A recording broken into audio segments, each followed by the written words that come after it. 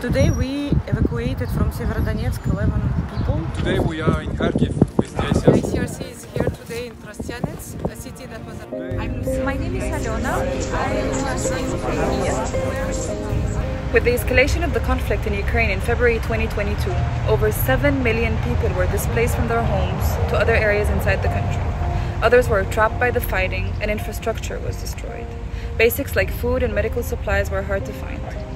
As humanitarian needs grow exponentially, we moved quickly to scale up our response across the country. So, what does this mean for people affected by the conflict? Scaling up means clean water being restored for millions of people in conflict affected areas.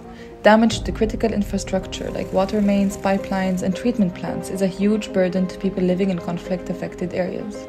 It's also one of the first things that needs to be restored in order for people to return to their homes. Scaling up means people looking for medical care can make it to safety and access them, and more hospitals with medicine and medical equipment. Often, disabled and elderly people are among vulnerable and least able to flee to safety. They are also more heavily impacted when there is a lack of reliable, good quality healthcare. Helping people reach safety through medical evacuations and providing hospitals with life saving supplies are first steps to meet these needs. Scaling up means making sure families have enough to eat.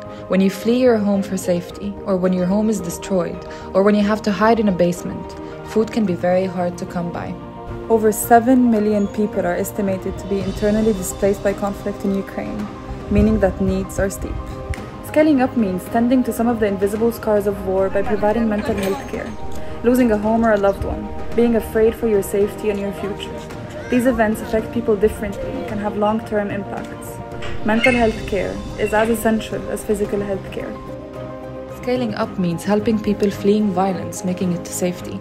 Safe passages provide a way for civilians who are trapped by conflict to make their way to safer areas. This means working with all parties of the conflict to stop fighting and agree on a route for people to leave through. This is a critical window for people to escape the horrors of armed conflict.